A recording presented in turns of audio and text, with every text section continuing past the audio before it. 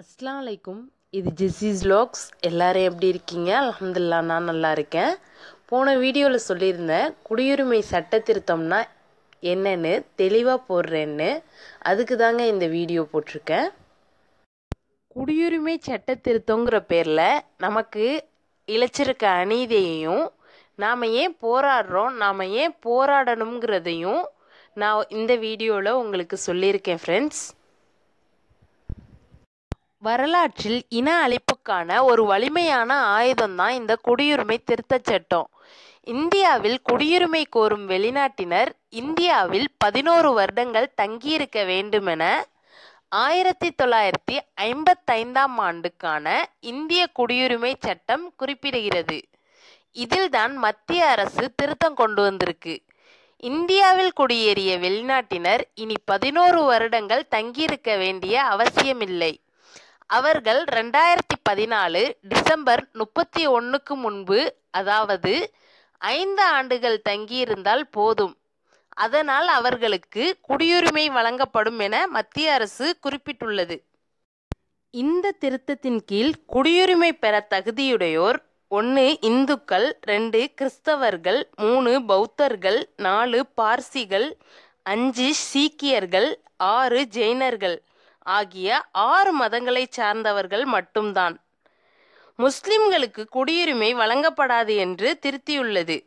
அஸ்ஸாம் மாநிலத்துக்கு மட்டும் கொண்டு வந்ததாக சொல்லிவிட்டு இப்போது நாடு முழுவதும் அமல்படுத்த முயல்கிறது மத்திய அரசு. இந்திய அரசியல் சாசனத்தின் பதினாலாவது பதினஞ்சாவது விதியும் சாதி மதம் இனம் பாலினம் பிறப்பு இவற்றின் அடிப்படையில் யாருக்கும் இடையே பாகுபாடு காட்டக்கூடாது என்று கூறுகிறது. அரசியல் சாசனம் வழங்கியுள்ள இந்த அடிப்படை உரிமைகளுக்கு எதிராக தான் பாசிச பாஜக அரசு குடியுரிமை திருத்த சட்டத்தை கொண்டு வந்துள்ளது.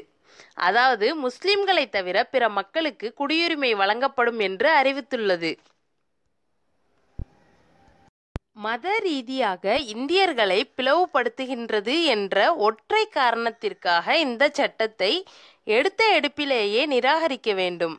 சிஏஏ என்றால் சுருக்கமாக இந்திய குடிமக்களாக ஒரு தரப்பு மக்களை சேர்த்தல் என்றும் என்ஆர்சி என்றால் இந்திய குடிமகன் என்ற தகுதியிலிருந்து ஒரு தரப்பு மக்களை நீக்குதல் என்றும் நான் எளிதாக விளங்கிக் கொள்ளலாம். என்ஆர்சி திட்டப்படி இந்தியாவின் ஒவ்வொரு குடிமகனும் தான் இந்தியர்தான் என்று அரசிடம் நிரூபிக்க வேண்டும். ஆதார் கொடுத்தால் மட்டும் போதாது. ஏன்னா ஆதார் அட்டையிலேயே இது அடையாளத்திற்கான சான்று மட்டுமே. குடியுரிமைக்கான சான்று அல்ல என்று அச்சிட்டு தான் தருகிறார்கள். எனவே ஆதாரை வைத்து எதுவும் செய்ய முடியாது. நீங்கள் இந்த ஊரில்தான் பிறந்தீர்கள் இந்த நபருக்கு தான் பிறந்தீர்கள் உங்கள் தந்தையும் இங்கேதான் பிறந்தார் என்று நிரூபிக்க வேண்டும். அப்படி திருப்திகரமாக ஆவணங்களை காட்ட இயலாவிட்டால் இந்த நாட்டின் பூர்வீக குடிமக்களாக இருந்தாலும் அவர்கள் இந்தியர் அல்லர் என்று அறிவிக்கப்படுவார்கள். சிஏஏ சட்டத்தின்படி இந்துக்கள் கிறிஸ்தவர்கள் பார்சிகள் ஜெயினர்கள் சீக்கியர்கள் ஆகிய ஆறு பிரிவினரும் இந்தியராக இல்லாவிட்டாலும் குடியுரிமை பெறுவார். இந்தியாவிலேயே பிறந்து வளர்ந்து வாழ்ந்த ஒரு முஸ்லிமுக்கு சிஏயின் பாதுகாப்பு இல்லாததால் வந்தேரி என்ற முத்திரை குத்தப்படுவார். சிஏஏ என்ஆர்சி இந்த இரண்டு சட்டங்களையும் வைத்து இந்தியாவில் வசிக்கும் பாதிக்கும் மேற்பட்ட முஸ்லிம்களை சுலபமாக வந்தேரிகள் என்று அறிவித்து விடலாம். அவர்களது குடியுரிமையையும் பறித்து விடலாம். விளைவு ரேஷன் கார்டு வாக்குரிமை போன்றவை பறிக்கப்பட்டு டிடென்ஷன் சென்டர் என்று சொல்லப்படுகின்ற தடுப்பு முகாம்களில் அவர்களை அடைத்து விடலாம்.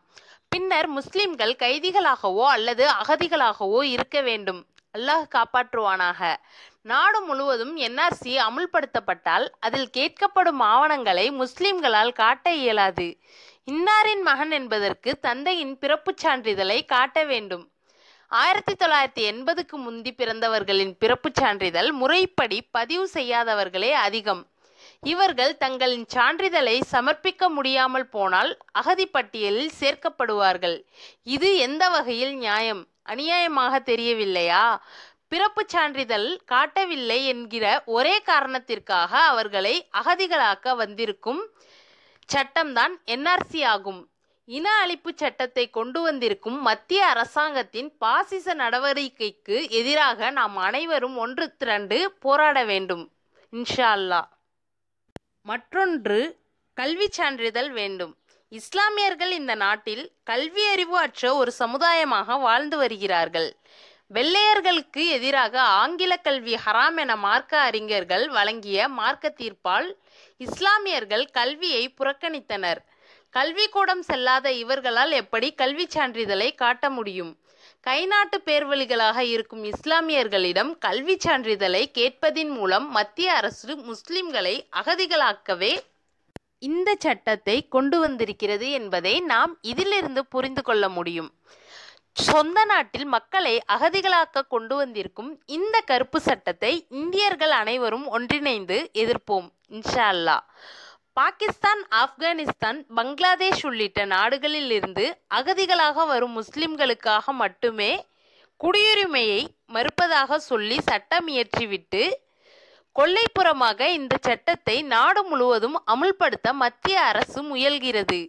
முஸ்லிம் என்ற காரணத்தினால் ஒருதலை பட்சம் காட்டுகிறது மத்திய அரசு. யார் வந்தேரிகள்? இந்த நாட்டில் இருக்கும் முஸ்லிம்கள் வந்தேரிகள் இல்லை.